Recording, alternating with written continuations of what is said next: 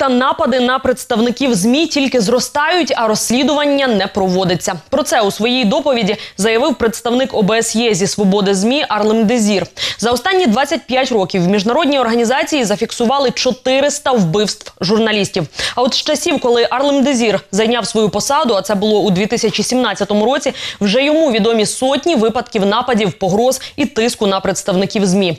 А от із розслідуванням цих злочинів проблеми тільки 15% злочинців покарані в Україні. До слова, ця цифра не менша. Якщо говорити про кількість нападів на журналістів, то вона як і в 2017, так і в 2018 вимірюється в межах понад 80 інцидентів фізичної агресії щодо журналістів, але е, лише близько 10% доходять до суду, і відповідно далі вони там тонуть, і ми не бачимо якоїсь так, такої справедливості. Експерти зауважують, що саме низька ефективність розслідування справ щодо нападів на журналістів і є основною причиною виникнення нових прецедентів.